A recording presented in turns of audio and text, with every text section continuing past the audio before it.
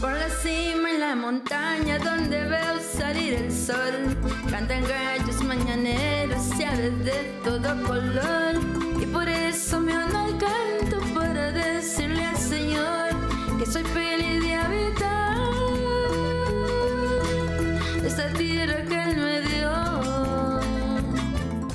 6 de diciembre de 1989, 92 agricultores recibieron del IDA o INDER el título de propiedad de lo que los convierte hoy como dueños de sus parcelas.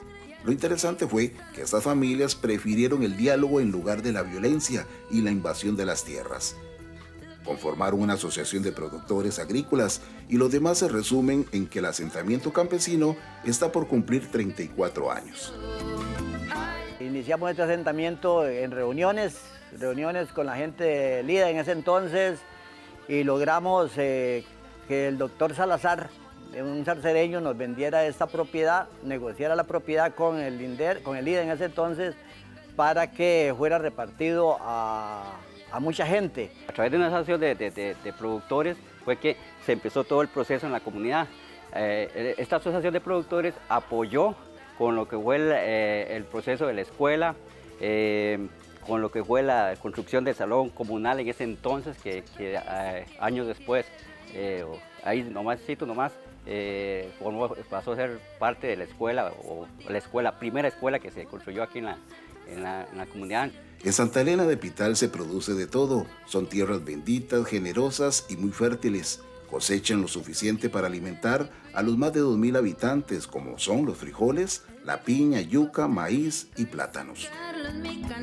Y le decía yo a muchos compañeros y vecinos que llegaban y me decían, Juan, no me regala usted tal cosa, no me regala la otra. Entonces, sí, claro, con mucho gusto, pero le daba la semilla, tome, vaya siempre para que el día de mañana no, no es que no me vayan a pedir, sino que tenemos que sembrar.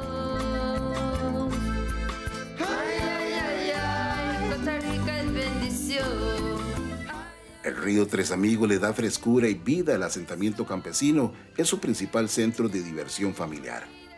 Como pueblo en desarrollo hay de todo, pero sí resalta el don de gente, el deseo de ayudar, de buscar mejorar el bienestar para toda la comunidad. Pero es un pueblo de progreso, de futuro, de futuro porque uno invita a la gente y la gente responde.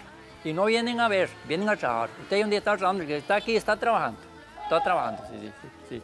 Y sobra a veces. Un día estábamos recogiendo basura y chapeando esa plaza y allá habíamos como 15 o 10, no sé, chapeando.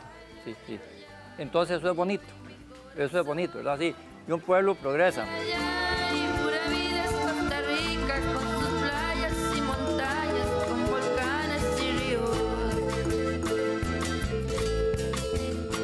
Una dirigente comunal de verdad que ha trabajado en el desarrollo de la comunidad de Santa Elena. Sin embargo, doña Lidia Zúñiga asegura que lo mejor es trabajar de nuestro Señor. Catequista, directora del coro, la vamos a conocer en Rincones de mi tierra. Nos vamos, doña Lidia.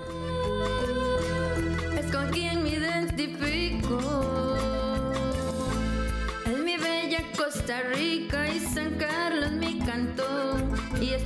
mi distrito donde tengo el corazón. La enseñanza que me dieron mis papás, mi mamá más que todo, que ella servía también en la comunidad y el deseo de, servirle a Dios, porque ese es un llamado que Dios siempre me ha hecho, de servir. He trabajado de catequista desde que tenía 27 años, empecé. No he trabajado todo el tiempo de catequista, pero sí he estado en grupos de evangelización y, y he servido con un grupo de jóvenes también un tiempo. Tuve un grupo de jóvenes aquí en la comunidad y en lo que Dios me ponga ahí voy.